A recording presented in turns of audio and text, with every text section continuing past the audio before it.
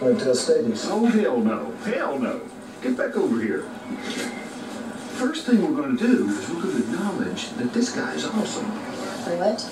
I mean, he shoots Theo Tonin, fakes his own death in a spectacular fashion, pushes a guy out of an airplane while he's flying it, parachutes into Harlan County with enough coke and cash to jumpstart the economy of a small country, and then he has the balls to get a job in law enforcement not once, but two times. He spends a couple of days riding around with you while you're looking for him, and now he's run off with a hooker that's half his age.